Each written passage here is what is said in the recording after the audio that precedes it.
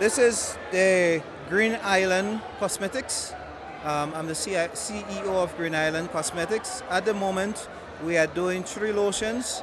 Uh, cocoa butter lotion, a lotion with bay leaf oil that is very cooling, and a lotion made from what we call sumache or kakabeke that used to be used for bathing children for skin problems. Cane juice, um, molasses and cane juice vinegar, all made from sugar cane.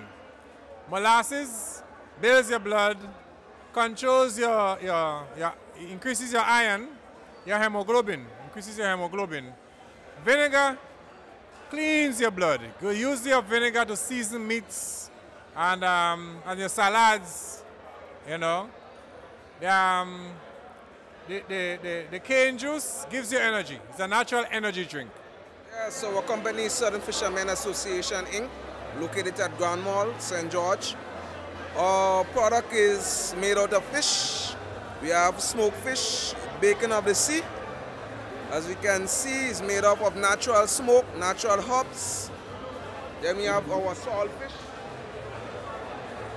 which is mai mai. We have different saltfish. We have marlin, we have oshanga, we have shark.